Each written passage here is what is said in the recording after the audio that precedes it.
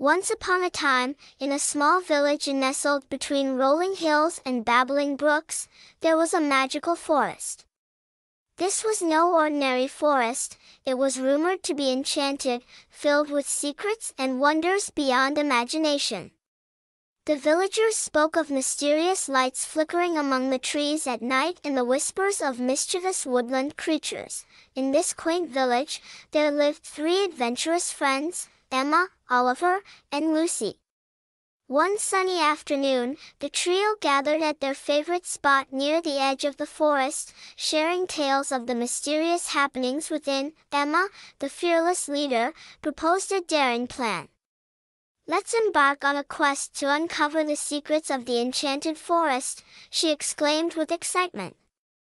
With a map drawn on a crumpled piece of parchment, the friends set out as the golden sun dipped below the horizon.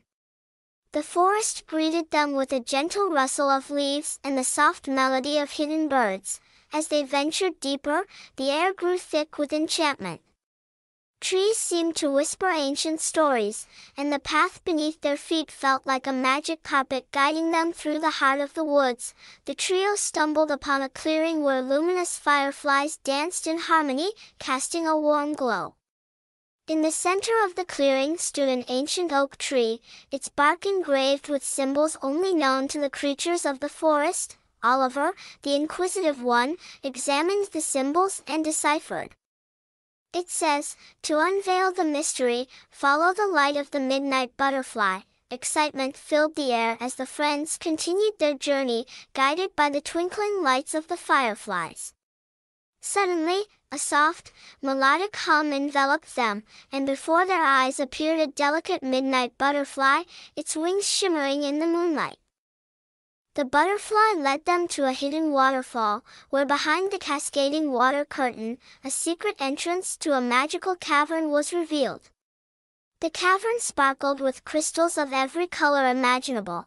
As they explored further, the friends discovered an ancient book that spoke of the enchanted forest's history and the magical creatures that called it home.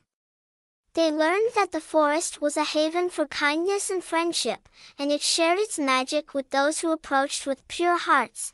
With newfound knowledge, Emma, Oliver, and Lucy returned to their village, spreading the tales of the enchanted forest and the magical journey they undertook. From that day forward, the village held an annual celebration, honoring the mystical wonders that lay hidden within the heart of the woods.